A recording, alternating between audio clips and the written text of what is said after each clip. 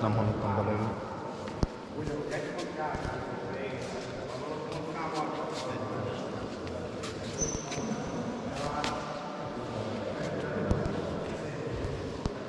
Legjobb, legjobb, legjobb, legjobb, legjobb, legjobb,